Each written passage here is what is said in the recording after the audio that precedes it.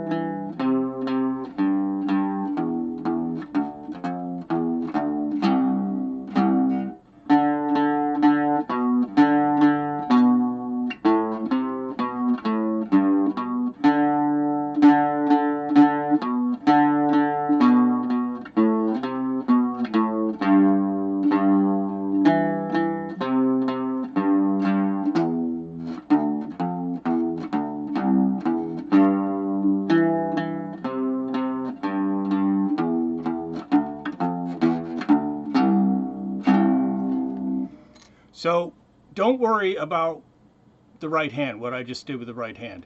Just focus on um, learning the melody. And then you can start applying the different patterns um, after you've got the melody down. Hope that works for you, and I'll see you next week.